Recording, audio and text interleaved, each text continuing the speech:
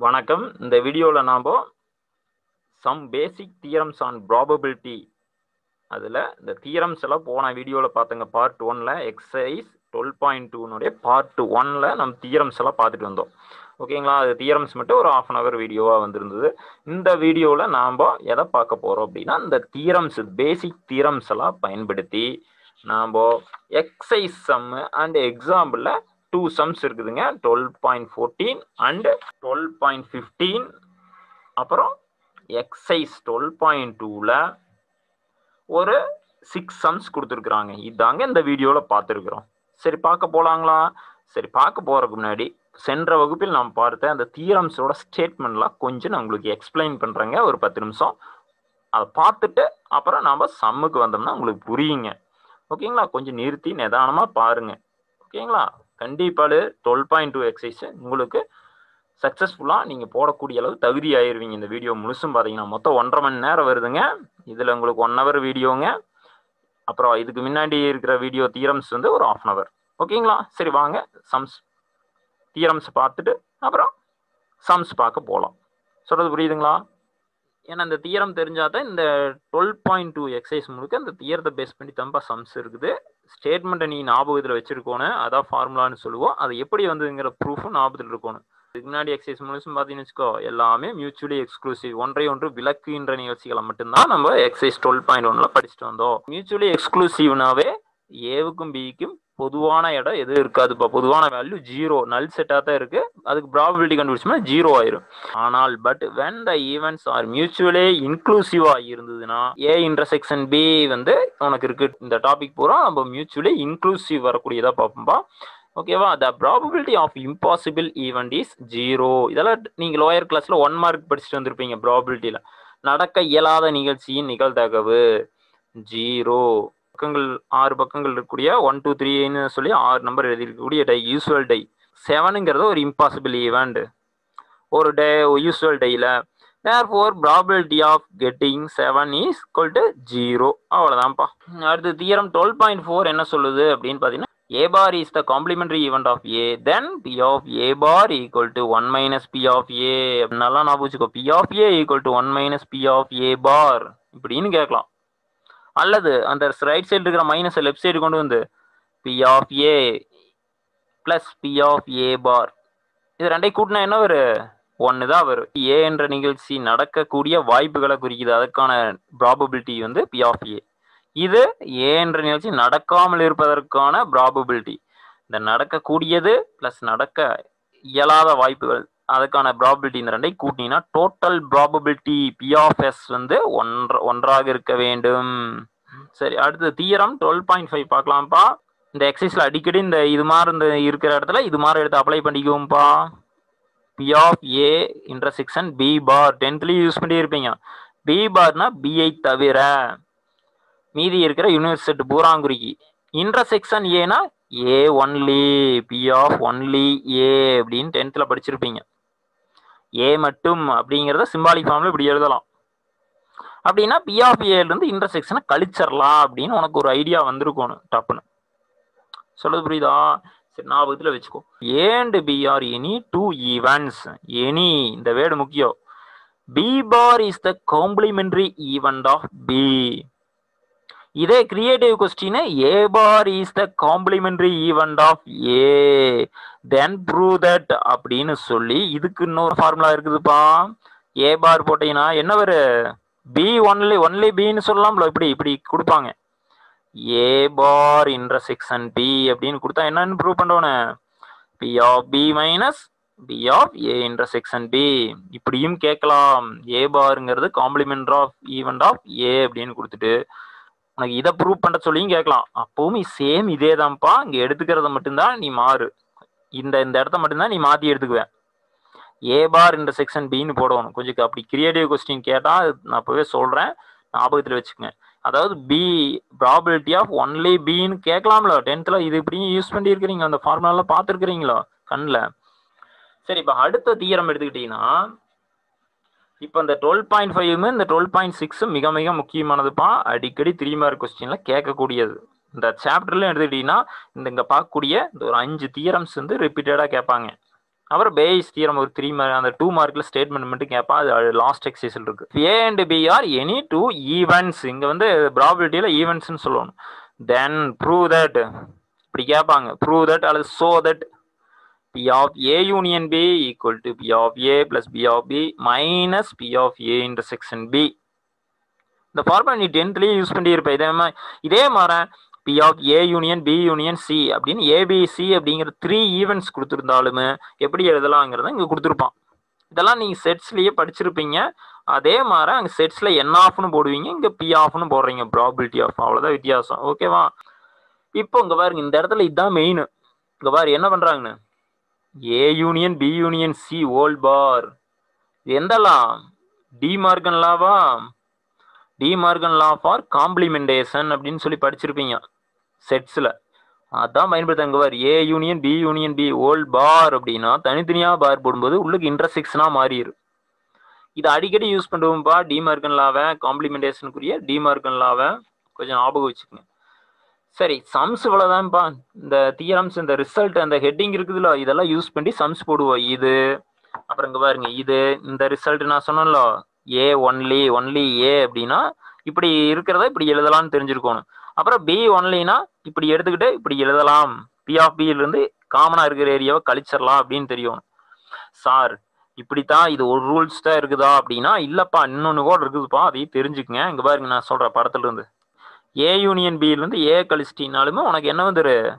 Be only கிடச்சிரும்ப்பா அதாவது இப்படி எழுதலாம். The D equal to probability of A union B minus P of A A union பியிலிருந்து இந்த P of ஏங்கிற அந்த இடத்துக்கு ஃபுல்லு இந்த ஏ ஃபுல்லும் கழிச்சிட்டினாலும் உனக்கு பி ஒன்லி கிடச்சிரு. அதே மாதிரி ப்ராபிலிட்டி ஆஃப் ஒன்லி ஏனா எப்படி எழுதலாம்? Probability of A union B இந்த டோட்டல் ரெண்டை யூனியன் பண்ணதுலேருந்து பிஏ கழிச்சிட்டினாலும் வந்துடும் probability of the event B இப்படியும் எழுதலாம். ரெண்டு விதமா அந்த படத்தை பார்த்து நீ யோசிக்கலாம்ப்பா. ஒரு வழி தான் இருக்குதுன்னு இல்லை. ரெண்டு வழியில நீ இதுக்கு ஒன்லி ஏ ஒன்லி பிக்கு எழுதலாம். சொல்றது புரியுதா? நம்ம சம்மில் பார்க்கலாம்ப்பா இதெல்லாம். இந்த தியரத்தை பேஸ் பண்ணி எப்படி போடுறது? இந்த தியரத்தை எப்படி ப்ரூவ் பண்ணுறதுன்னு தெரிஞ்சுங்க இது மாதிரி இந்த P of A probability of only A only B அப்படின்னு கேட்டாங்கன்னா இது மாதிரி total probability A union B கொடுத்துருந்தாங்கன்னா கொஸ்டின்ல அதுலேருந்து பி ஆஃப் பிஏ கழிச்சுனா கூட கண்டுபிடிச்சிடலாம் அப்படின்னு இந்த வென் டயக்ராம் போட்டு நீ அதுலேருந்து பார்க்க தெரியணும்ப்பா யோ யோசிச்சு பார்த்தீங்கன்னா நீ ரெண்டு மூணு வழியில கூட போடலாம்ப்பான்ற திறமை. சரி பாருங்க first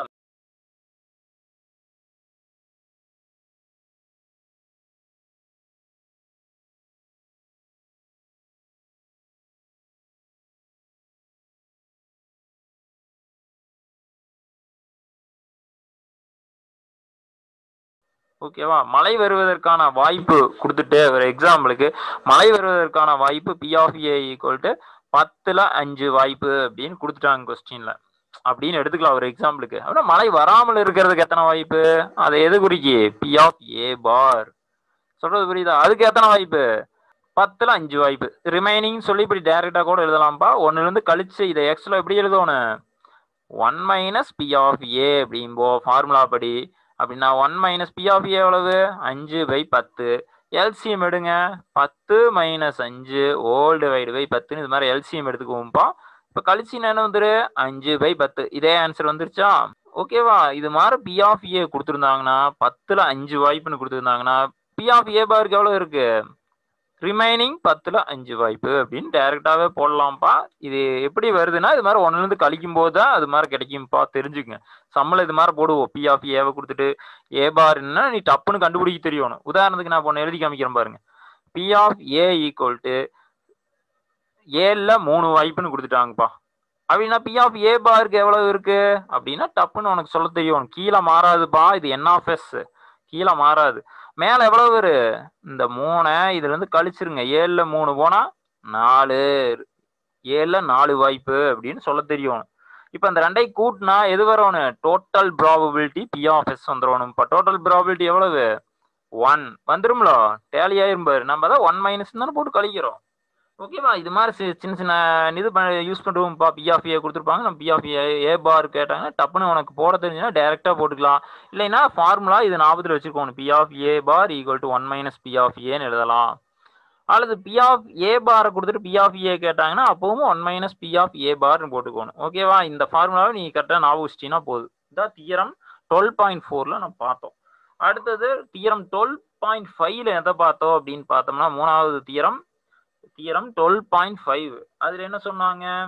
P of A intersection B பாரை எப்படி எழுதலாம் அப்படிங்கிறத கொடுத்துருந்தாங்கப்பா. இதெல்லாம் சம்பளம் அப்ளை பண்ணுவது ஞாபகம் வச்சுருக்கோம். நல்லா பார்த்துங்க. இதுக்கு என்ன அர்த்தம்?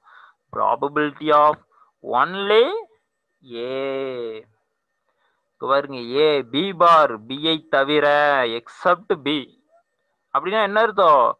ஏ மட்டும்.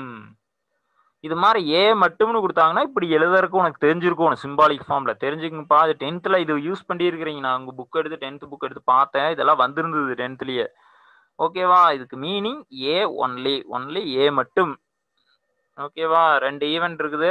ஐஐடி காலேஜில் சேர்றதுக்குமே எம்பிபிஎஸ்ல சேர்றதுக்குமே இது மாதிரி ரெண்டு ஈவெண்ட் கொடுத்துருந்தாங்கன்னா ஏபின்னு ஐஐடியில் மட்டும் சேர்வதற்கான ப்ராபிலிட்டி காண்க அப்படின்னு சொன்னான்னா இந்த ஃபார்முலா அப்ளை பண்ணுறோம் ஓகேவா சரி இதுக்கு என்ன formula the equal to A மட்டும்னா எப்படி கண்டுபிடிக்கலாம்? இது மாதிரி வென் டயக்ராம் போட்டு யோசிச்சு பாருங்க. வென் டயக்ராம் சும்மா ரஃப் டயக்ராம் போட்டு ஏ கேபிட்டல் பி இது ஏ இன்டர்செக்ஷன் பி இருக்கு. சரி இப்போ ஏ மட்டும்னா எது மட்டும் வரணும்? இது மட்டும்தான். இந்த ஏ இன்டர்செக்ஷன் பியை கழிச்சிடணும் அல்லது ஏ யூனியன் பியிலிருந்து இந்த பி செட்டை கழிச்சிடணும் அப்படின்னு சொல்லலாம். சொல்லலாமா? அல்லது ஏலிருந்து பி ஆஃப் ஏலிருந்து இந்த கா இந்த ஏரியாவை கழிச்சிட்டா கூட இது மட்டும் கிடைச்சிரு அதான்ப்பா ரெண்டு விதமான ஃபார்முலா எழுதலாம்ப்பா. ஒன்று P of A minus P of A intersection B இது ஒரு ஃபார்முலா இதுக்குரிய ஃபார்முலா இப்படி இருக்கிறத இப்படி எழுதலாம். தெரிஞ்சிருக்கணும்ப்பா தியரம் டுவெல் பாயிண்ட் ஃபைவ் இதைத்தான் எடுத்து சொல்லுது. ஓகேவா இப்படி இருந்தால் இப்படி எடுத்துக்கலாம். அல்லது இதையே இன்னொரு விதமா எப்படி எழுதலாம்? பி ஆஃப் ஏ யூனியன் பியில் இருந்து நல்லா புரிஞ்சுங்க. ஏ யூனியன் பின்னா இது மொத்தம் அந்த ரெண்டையும் சேர்த்து நடும் அதுல இருந்து இந்த பிஏ கழிச்சிடணும் அப்படின்னு சொல்லலாம். சொல்றது புரியுதா? ரெண்டு ஃபார்முலா இருக்குதுப்பா. ஏ யூனியன் பியில் இருந்து மொத்தம் இந்த எல்லா இடம் ஷேர் பண்ணிட்டு இந்த பி ரவுண்டை மட்டும் லெஸ் பண்ணிடுறீங்க. அழைச்சிறீங்க ரப்பர் வச்சு. மைனஸ் பி ஆஃப் பி இப்போ வந்து ஏ மட்டும். சொல்றது புரியுதுங்களா? இது இப்படி எழுத தெரியணும்ப்பா. இந்த வெண்டைகிராம் பார்த்து எழுத தெரியணும். செட்ஸ்லயே படிச்சிருக்கிறீங்க. சரி இதுலயே இன்னொரு விதமான ஃபார்முலா இருக்குது. பி மட்டும். அதுக்கு எப்படி போடுவீங்க? ஏ பார் இன்டர்செக்ஷன் பி அதாவது ஒன்லி பி ஓகேவா ஒன்லி பி எப்படி எழுதலாம்ப்பா சிம்பாலிக் ஃபார்ம்ல தெரிஞ்சுக்குங்க. அப்படின்னா எந்த இடம் குறிக்கி? இந்த இடம் ஏ பார் இன்டர்செக்ஷன் பி இந்த இந்த ரவுண்டு மட்டும். இந்த பக்கம் ஷேர் பண்ணி காமிக்கிற இது மட்டும். அப்படின்னா இதுலேயே ரெண்டு விதமான ஃபார்முலா இருக்குதுப்பா. என்னென்ன? பி ஆஃப் பியிலிருந்து இன்டர்செக்ஷன் பியை கழிச்சிடலாம். P of பியிலிருந்து minus P of A intersection பியை கழிக்கலாம் அப்படின்னு தெரிஞ்சிருக்கோன்னு. அல்லது இன்னொரு formula P of A bar intersection B A எப்படி எழுதலாம் இன்னொரு ஃபார்முலா அப்படி? ஏ யூனியன் பின்னு மொத்தம் எல்லா இடத்தையும் ஷேட் பண்ணிட்டு ஏ ரவுண்டை மட்டும் ரப்பர் வச்சு அழைச்சிடலாம். சொல்றது புரியுதா? P of A union B minus P of A இப்போ கொஸ்டின்ல எது கொடுத்துருக்குறான்னு பார்க்கணும். அதுக்கு தகுந்தாப்புல இந்த ஃபார்முலா இந்த ரெண்டுல எதை யூஸ் பண்ணலாம்னு சொல்லி முடிவு பண்ணிக்கணும்ப்பா கொஞ்சம் ஞாபகத்தில் வச்சுங்க இது வந்து தியரம் டுவெல் பாயிண்ட் ஃபைவ்ல அந்த ரிசல்ட் ஸ்டேட்மெண்ட்டை மட்டும் நான் இப்படி எல்லாம் எழுதலாம்னு நான் சொல்லி தரேன்ப்பா அடுத்தது இன்னொன்று ஞாபகம் வச்சிருக்கணும் இந்த எக்ஸசைஸ் நாலாவது தீரம் நாலாவது தீரம் என்ன சொல்லுதுன்னா அது அடிசன் தியரம் ஆன் ப்ராபபிலிட்டி அல்லது அடிட்டிவ் தியரம் ஆன் ப்ராபபிலிட்டின்னு கூட சொல்லுவாங்க. P of A union B equal to P of A P of B minus P of A intersection B இதை ஞாபகம் வச்சிருக்கோணும். இங்கே A and B are inclusive event ஓகேவா பொதுவான இடம் இருக்கும்பா? பொதுவான வேல்யூ வந்திருக்கு. ரெண்டுக்கு ரெண்டு ஈவெண்ட்டு காமனானது வந்து இருக்கும். அந்த இடத்துல இந்த ஃபார்முலா யூஸ் பண்ணுறோம் அடுத்தபடியா டிமார்க்கன் லாவை கொஞ்சம் ஞாபகப்படுத்துறோம்ப்பா. அடிக்கடி யூஸ் பண்ணுவோம் அதாவது A union B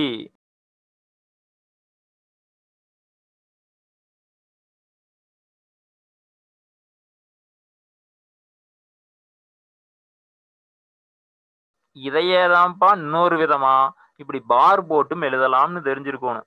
A union B whole bar equal to A bar intersection B bar இதைத்தான் டிமார்க்கன்லாம் அது மாதிரி டேஷும் போடலாம். பார் போடுவோம்ப்பா இங்க ப்ராபபிலிட்டியில சார் பார் பார்னு பாரையெல்லாம் ஞாபகப்படுத்துறீங்களாங்க சார்? வெஸ்ட் நாங்களே சோகத்தில் இருக்கிறோம். அப்படின்னு காது கேட்குது எனக்கு. ஏ இன்டர்செக்ஷன் பி ஓல்ட் பார்னா ஏ பார் யூனியனா மாறி இன்டர்செக்ஷன் பி பார் இத டிமார்க்கன் லா ஃபார் காம்ப்ளிமெண்டேஷன் இது தெரிந்திருக்க வேண்டும். ஓகேவா சரி. அடுத்தபடியா என்ன தெரிஞ்சிருக்கணும் அப்படின்னா இது மாதிரி த்ரீ நிதுக்கு இன்னொரு விதமா எப்படி இந்த இந்த ஃபர்ஸ்ட் இந்த தீரம் செகண்ட் தியரத்தை யூஸ் பண்ணி அதாவது தீரம் டுவெல் பாயிண்ட் ஃபோரை யூஸ் பண்ணி எப்படி எழுதலாம்னா இந்த பார் போட்டு எழுதுறோம்ல இது மாதிரி P of A union B union சியை one minus P of A union B union C whole பார்னு எழுதலாம். இதையும் தெரிந்திருக்க வேண்டும். நோட்டுன்னு போட்டு உங்கள் புக்கில் கொடுத்துருப்பான். ஓகேவா? இங்க தான் டிமார்கன் லாவை யூஸ் பண்ணி தனித்தனியா பார் போடும்போது இன்ட்ரசிக்ஷனா மாறிடும் அப்படிங்கிற விஷயம் தெரிஞ்சிருக்கணும்ப்பா மற்றபடி அதிகமா எது வராதுப்பா. இந்த டிமார்கன் லா ஒன்று வரும் புதுசா டென்த்தில் படித்தது கொஞ்சம் ஞாபகத்தை வச்சுருக்கோம் சரி வாங்க சம்முக்கு போகலாம் ஃபர்ஸ்ட் எக்ஸாம்பிள் சம் பார்த்துட்டு அப்புறம் எக்ஸசைஸுக்கு வந்துடலாம் இது வந்து உங்களுக்கு ஃபைவ் மார்க்கில் கேட்பாங்கப்பா. ஏதோ ரெண்டை மட்டும் கேட்டாங்கன்னா டூ மார்க்கில் கேட்பாங்க. இது மாதிரி நாலு கொஸ்டின் ஒன்னா கேட்டாங்கன்னா ஃபைவ் மார்க்கில் கேட்பாங்க. அல்லது த்ரீ ரோமன் லெட்டர் மட்டும் கேட்டாங்கன்னா த்ரீ மார்க்கில் கேட்பாங்கப்பா. கொஞ்சம் பார்த்துக்கு. ஈஸியானது இதெல்லாம். இந்த தியரம்ஸ் பார்த்தோம்னா இதெல்லாம் இந்த ஸ்டேட்மெண்ட் எல்லாம் ஞாபகம் வச்சிருந்தீங்கன்னா கொஞ்சம் ஈஸியாக இருக்கு. ரொம்ப ஈஸியான எக்ஸசைஸ் நீங்கள் இந்த ப்ராபிலிட்டியில் பார்க்குறதுலேயே மிகவும் எளிமையான எக்ஸசைஸ் இந்த ஸ்டேட்மெண்ட் அப்போ எழுதி போட்டது மட்டும் ஞாபகம் வச்சிருந்தீங்கன்னா கூட போது சக்ஸஸாக போட்டலாம். அப்போ படம் வரைஞ்சி பார்த்து உனக்கு யோசிக்க தெரியணும் ரெண்டு மூணு வழிகளில் போடலாம். உனக்கு எந்த வழி ஈஸியாக புரியுதோ அதுபடி நீ ஃபார்முலா அப்ளை பண்ணிக்கலாம். சரிப்பா. கிவன் பி ஆஃப் ஏ கொடுத்துட்டாங்க. பி ஆஃப் பி கொடுத்துட்டாங்க. பி ஆஃப் ஏ இன்டர்செக்ஷனும் பி கொடுத்துட்டாங்கப்பா. பரவாயில்லப்பா. சூப்பர் மூணையும் கொடுத்துட்டாங்க. ஃபைண்டு இதுக்கு என்ன வருதுன்னு புரிஞ்சிருக்கோம். இது மாதிரி சிம்பாலிக் போட்டான். இது எதுக்காக யூஸ் பண்ணுறோம் ஏ ஒன்லி அப்படின்னு உனக்கு புரிஞ்சிருக்கோம். பி பார்னு போட்டான். பிஐ தவிர ஏ மட்டும். ஏ மட்டும். அப்படின்னா ஏ மட்டும்னா இது மாதிரி படத்தை கொஞ்சம் இமேஜினேஷன் பண்ணிப்பாரு இல்லைன்னா ரஃப் டயக்ராம் சும்மா சைடில் போட்டு இப்படி யோசிச்சுப்பாரு ஏ இது எஸ் சாம்பிள் ஸ்பேஸ் யூனிவர்சல் செட்டுங்கிறது எஸ்ன்னு வச்சுக்கலாம்ப்பா. இது ஏ இன்டர்செக்ஷன் பி இப்படி இருக்குன்னு தெரிஞ்சுக்குங்க. வரைஞ்சி வச்சுக்கோ. இப்போ வந்து இதுக்கு என்ன அர்த்தம்? நல்லா யோசிச்சுங்க. பிஐ தவிர பி கழிச்சிடணும்ப்பா எதுலேருந்து? இந்த ஏ யூனியன் பியிலிருந்து அது ஒரு வழி. இன்னொரு வழி. பி ஆஃப் ஏல இருந்து நல்லா அந்த படத்தை பார்த்து இது மட்டும்ப்பா. இந்த ஏரியா மட்டும் கேட்குறாங்க ஏ யூனியன் பியிலிருந்து பிஏ கழிச்சிடலாம் அது ஒரு ஃபார்முலா இன்னொன்று பி ஆஃப் ஏல இருந்து இந்த ஏ இன்டர்செக்ஷன் பிஏ கழிச்சிடலாம். ரெண்டு ஆப்ஷன் இருக்குதுப்பா. நீ ரெண்டுல எதை போட்டீங்கனாலும் ஆன்சர் ரைட் தான். ஓகேவா இங்க எதை யூஸ் பண்ணியிருக்காங்க புக்கில் பி ஆஃப் ஏல இருந்து ஏன்னா ஏ மட்டும்தானா? பி ஆஃப் ஏல இருந்து இந்த காமனான இடத்த கழிச்சிடணும்ப்பா அவ்வளோதான் அந்த ரெண்டையும் லெஸ் பண்ணினா ஆன்சர் அவ்வளோதான் சொல்றது புரியுதா? அல்லது இன்னொரு விதமாக போட்டீங்கன்னா நான் சொன்னேன்ல ஏ யூனியன் பியிலேருந்து கழிக்கலான்னு. That equal to P of A union B minus probability of B A union B என்ன கொடுத்துருந்தாங்க? கொடுக்கல. சொல்றது புரியுதா? அப்படின்னா நம்ம என்ன பண்றோன்னு? ஏ யூனியன் பி கண்டுபிடிச்சிட்டு தான் இந்த மெத்தட்ல போட்டா போடணும். அப்படின்னா இந்த இடத்துல எது பெஸ்ட் மெத்தடு இந்த ஃபார்முலா யூஸ் பண்றது தான் கிவன் டேட்டாவை டைரக்டா போட முடியும் அப்படின்னு யோ யோசிக்கணும். கொஸ்டின்ல ஒருவேளை ஏ யூனியன் பி கொடுத்துருந்தானா? அப்போ இதை யூஸ் பண்றோம். சொல்றது புரியுதா? இந்த ரெண்டு இடத்துல எந்த ஃபார்மா யூஸ் பண்றோம் நீ முடிவு பண்ணணும் சரி ஒருவேளை இந்த இடத்துல நீ யூஸ் பண்ணலாம்னு நினைச்சீங்கன்னா எதை கண்டுபிடிக்கணும்? இந்த செகண்ட் ரோம் லெட்டர் நீ முதல்ல கண்டுபிடிக்கணும். அப்புறம் வேணா ஃபர்ஸ்ட் ரோம் லெட்டருக்கு பண்ணீங்கன்னா ஆன்சர் வரும். சொல்றது புரியுதா? அப்போ செகண்ட் ரோம் லெட்டர் பார்த்துட்டு அப்புறம் நான் இதை சொல்றேன் பாரு இன்னொரு மெத்தட் எப்படி போடுறேன் சரி செகண்ட் என்ன கொடுத்துருக்கா? ஏ யூனியன் பி ஃபார்முலா தெரியணும்ப்பா. அடிட்டிவ் தியரம் எடுத்து எழுதிக்கிறீங்க. எல்லாத்தையும் எடுத்து P of A P of B ரெண்டையும் கூட்டி கழிச்சிட்டீங்கன்னா உனக்கு ஜீரோ பாயிண்ட் செவன் ஒன் வருதுப்பா. இப்போ இந்த கண்டுபிடிச்சிட்டு நீ ஃபர்ஸ்ட் கொஸ்டின் ஆன்சர் பண்ண வந்தீங்கன்னா இந்த ஃபார்முலா வச்சு போட்டீங்கன்னா ஜீரோ பாயிண்ட் செவன் ஒன் கண்டுபிடிச்சது மைனஸ் பி ஆஃப் பி எவ்வளவு? கொஸ்டின்ல கொடுத்தது ஜீரோ பாயிண்ட் நாற்பத்தி மூணு. இதை கழிச்சீங்கன்னா ஃபர்ஸ்ட் கழிக்க தெரியுமான்னு ஃபர்ஸ்ட் நான் உங்களை செக் பண்றேன்ப்பா. என்ன பண்றோன்னு? பாயிண்ட்ல ஜீரோ பாயிண்ட் செவன் ஒன் இந்த பாயிண்ட்லாம் ஒரே நேர் வரணும்ப்பா கொஞ்சம் பார்த்துக்குங்க. டெசிமலுக்கு பின்னாடி இருக்கிறதெல்லாம் இந்த பாயிண்ட்ல ஒரே நேர் வரணும். இங்கேருந்து கடை வாங்குவீங்க. பதினோரு ரூபா கிடைக்கி. பதினொன்னுல மூணு போனால் எட்டு. இவங்கிட்ட எத்தனை தான் இருக்கு? இங்கேருந்து உனக்கு கடை வாங்கினீங்கன்னா ஒன் வந்து பதினொன்றாம் மாறிடு பதினொன்றில் மூணு போனால் எட்டு. இங்கே ஆறு இருக்குது ஆறில் நாலு போனால் ரெண்டு. வந்துருச்சு பாத்தியா? ஜீரோ பாயிண்ட் டூ எயிட் ரெண்டு ஆன்சர் ஒன்னா இப்படியும் போடலாம்ப்பா. நம்ம இடத்துக்கு தகுந்தாப்புல எந்த ஃபார்முலா யூஸ் பண்ணுறதுன்னு இது மாதிரி வெண்டாயிரம் வரைஞ்சு யோசிச்சு பாருங்க. சக்ஸஸ்ஃபுல்லாக போட்டலாம். ம்? சரி இப்போ ஃபர்ஸ்ட் ரெண்டும் பார்த்தாச்சு. அடுத்து இந்த மூணாவது பாருங்க இதை பார்த்தோன்னே உனக்கு டப்புன்னு ஞாபகம் வரணும் ரெண்டுக்கு தனித்தனியாக பார் போட்டிருக்கிறாங்க இடையில இன்டர்செக்ஷன் இருக்குது. அப்படின்னா இதுக்கு இப்படி வச்சுட்டு நம்ம ஃபார்முலா தீரம் எதுவும் படிக்கலப்பா? தனித்தனியாக பார் வச்சு இன்டர்செக்ஷன் போடுறது. அப்படின்னா எதை யூஸ் பண்றோம்னு டப்புன்னு ஞாபகம் வரணும் இது டிமார்கன் லாபம் மாதிரி இருக்குது.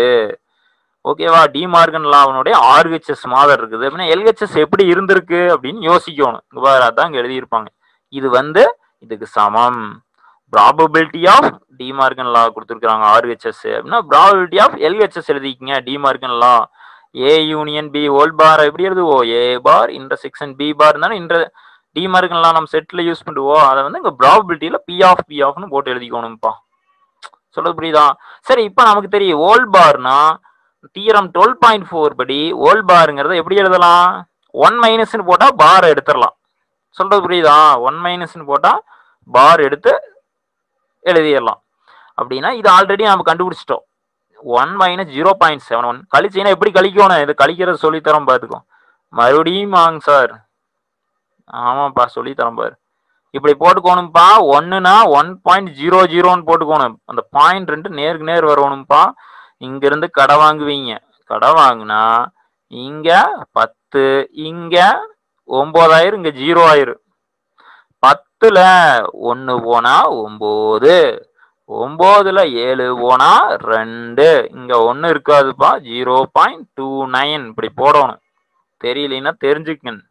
சரிப்பா அவ்வளோதான்ப்பா முடிஞ்சது தான் ஆன்சர் ஓகேவா இப்படி டிமார்கன்லாம் டப்புன்னு யோசிக்கணும்ப்பா. இவ்வளவுதான் அந்த டென்த்ல படிச்சது ஞாபகத்தில் இருக்கணும். அடுத்ததும் பாரு ஃபோர்த்துமே probability of A bar union B bar repeat intersection போட்டு ஓல் பார்னு போடலாம். ஓல் பார் எப்படி மாற்றுவீங்க ஒன் மைனஸ்னு போட்டால் அது பார் ரிமூவ் ஆயிரு. அப்படின்னு தப்புன்னு ஞாபகம் வரும் உனக்கு பார். One minus zero point two four கழிச்சிங்கன்னா one point zero ஜீரோன்னு போட்டு ஜீரோ பாயிண்ட் டூ ஃபோர் கடை வாங்கினீங்கன்னா பத்து இங்கே ஒம்பது இங்கே ஜீரோ பத்தில் நாலு போனால் ஆறு ஒம்போதில் ரெண்டு போனால் ஏழு. பாயிண்ட் அப்படியே வச்சுக்கோ. போட்டுடலாமா? ரூபேஸ் ரூபஸ்ரீ. எஸ் சார் சரிப்பா சரி. அடுத்த சம் போலாமா? அடுத்து எக்ஸாம்பிள் டுவெல் பாயிண்ட் ஃபிஃப்டீன்ப்பா இது நீங்கள் டென்த்தில் படிச்சிருக்கிறீங்க. எனக்கு நல்லா தெரியுது. டென்த்தில் வந்திருக்குது இந்த மாடலில் சம்மு அதனால யூ நோ தட்டுன்னு நான் போயிடலாம் இருந்தாலும் நான் சொல்கிறேன் பார்த்துங்க கொஸ்டின் என்ன கேட்டிருக்கிறான்னா போட்டித் தேர்வுகளுக்கு தயாராகும் ஒரு பெண்ணிற்கு மாநில அரசு பணி கிடைப்பதற்கான ப்ராபபிலிட்டி ஜீரோ பாயிண்ட் டுவெல் மாநில ஸ்டேட் கவர்மெண்ட் சர்வீஸில் கிடைக்கிறதுக்கு ஜீரோ பாயிண்ட் டுவெல். சரி இப்போ அடுத்து என்ன சொல்லியிருக்கிறாங்க? மற்றும் மத்திய அரசு வேலை கிடைப்பதற்கான probability zero point two five. மத்திய ஜென்ரல் கவர்மெண்ட் ஜாப்பா ஜென்ரல் கவர்மெண்ட் வேலை. இந்த railway railway job post office இது மாதிரி சொல்லுவாங்களோ? அது மாதிரி ஜாப் கிடைக்கிறதுக்கான வாய்ப்பு இவ்வளவு. ஓகேவா கொடுத்துட்டாங்க. ரெண்டுலேயுமே கிடைப்பதற்கு போத் ரெண்டுனா இன்டர்செக்ஷன் இந்த ஈவெண்ட் இன்டர்செக்ஷன் இந்த event zero point zero seven இருக்குதுன்னு சொல்லிட்டாங்கப்பா. சேம் போன சமாட்டவே கொடுத்துட்டாங்க. இங்கே தியரியில் கொடுத்துருக்காங்க நீ ஃபர்ஸ்ட் பேர் வச்சுக்கோணும்ப்பா. குழந்தைக்கு பேர் வைக்கிறாப்ல. நீ ஏ பின்னு கேபிட்டல் ஏ கேபிட்டல் பின்னு கூட பேர் வச்சுக்கலாம்ப்பா. சொல்றது புரியுதா? புக்கில் போட அப்படியே போடணுங்கிற அவசியம் கிடையாது. ஐ அப்படின்னு வச்சிருக்காங்க நான் இதே மாதிரி சொல்கிறோம்ப்பா capital I be the event of getting state government சர்வீஸ்னு பேர் வச்சுக்கிறேன். C be the event of getting general general government ஜாப்னு வச்சுக்கிறப்பா. கிவன் டேட்டாவில் வந்து பி ஆஃப் ஐ வந்து zero point twelve P of C C mean central government C equal to zero point two five ரெண்டு காமனா ரெண்டுலையுமே job கிடைப்பதற்கு எத்தனை வாய்ப்பு இருக்குது? ஜீரோ பாயிண்ட் ஜீரோ செவன் இதெல்லாம் கிவன் டேட்டாப்பா கிவன் கொஸ்டினை பார்த்து இது எடுத்து ஒரு மார்க் இதுக்கு. அடுத்தது படம் போட்டுக்குங்கப்பா. படம் உனக்கு தெரியும். அந்த படம் ஞாபகத்தில் இருந்தால் தான் உனக்கு புரியும். என்ன கேட்டிருக்கிறாங்க அப்படின்னு கொஸ்டினை படிச்சு படம் போடணும். என்ன கேட்டிருக்கிறாங்க? Find the probability that will get at least one of the two jobs இரண்டில் ஒரு பணி கிடைப்பதற்கான நிகழ்தகவு. ரெண்டு வேலையில ஏதோ ஒன்று இது அல்லது அது. நல்லா புரிஞ்சுங்க. ரெண்டுல ஏதோ ஒன்று ரெண்டுல ஏதோ ஒன்றுன்னு என்ன அர்த்தம்?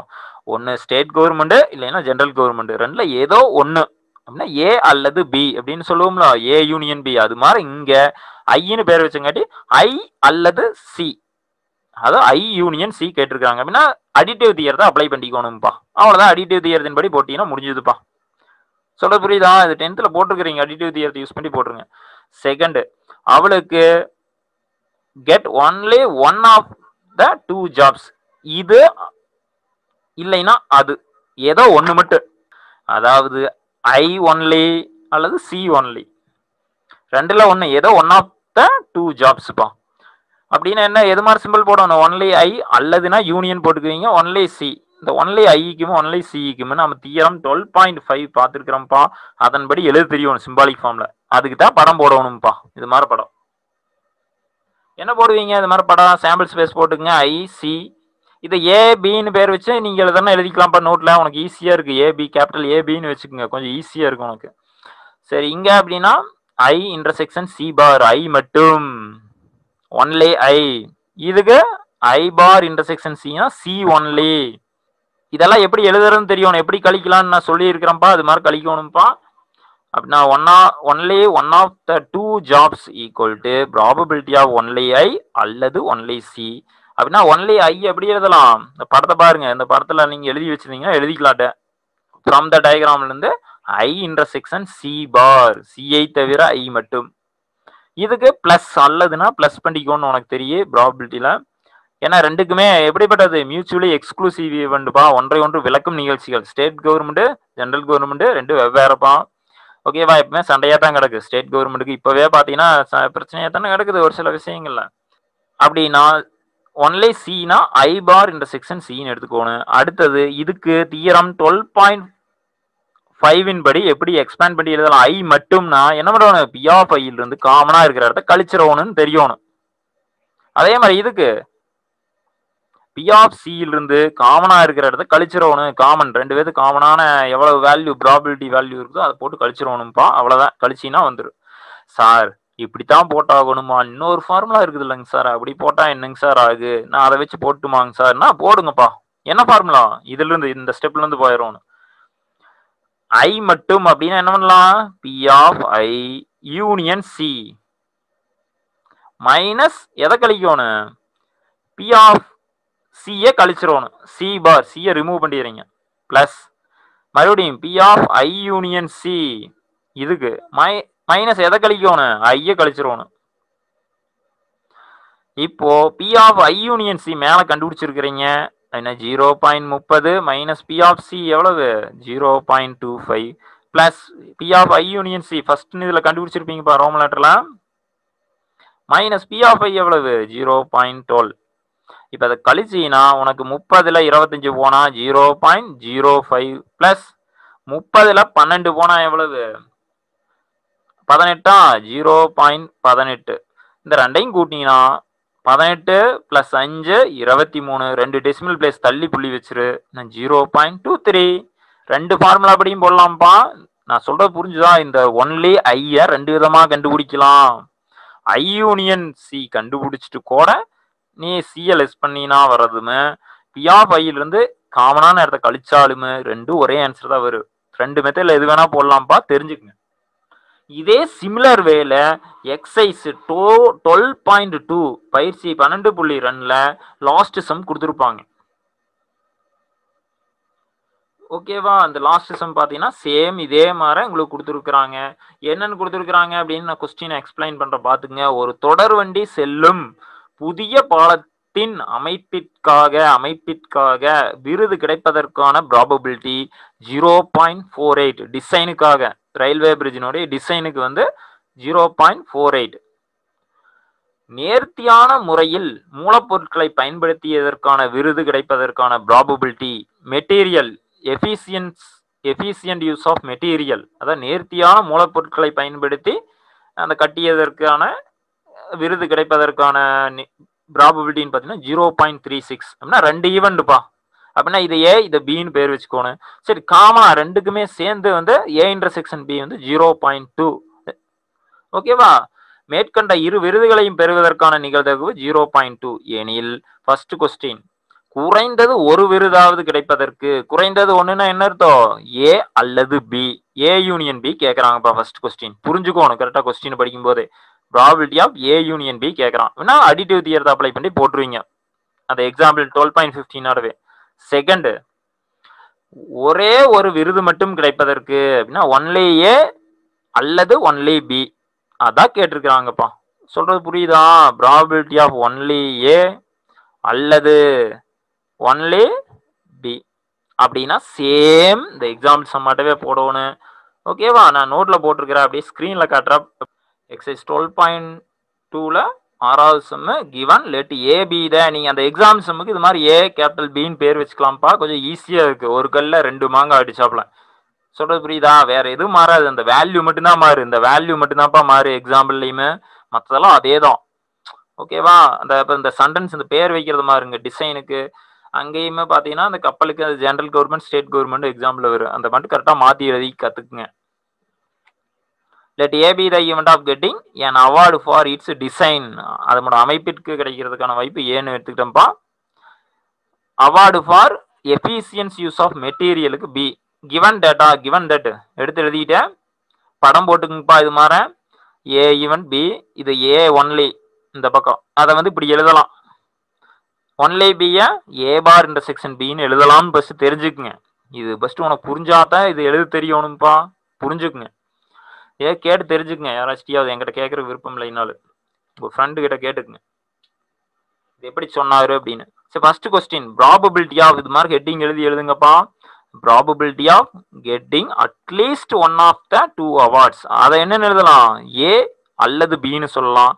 ஓகேவா அந்த இடத்துல வேணா நீ ப்ராபிலிட்டி ஆஃப் ஏ ஆர் பின்னு கூட எழுதிட்டு அப்புறம் யூனியன் போட்டுக்கலாம். தப்பு இல்லை டைரக்டா போட்டாலும் தப்பு இல்லை using additive theorem on probability P of A ரெண்டையும் போட்டு இது ரெண்டையும் கழிச்சுட்டு நான் கூட்டிட்டேன். நீ இது ரெண்டையும் கூட்டிட்டு அப்புறம் கழிச்சாலும் இதே ஆன்சர் தான்ப்பா வரும் ஓகேவா இந்த ஏ யூனியன் பி இப்போ second question probability of getting only one of the awards அதாவது ஒன்லி ஏ அல்லது ப்ராபிலிட்டி ஆஃப் ஒன்லி பி இந்த அல்லது என்னன்னு பண்ணலாம்.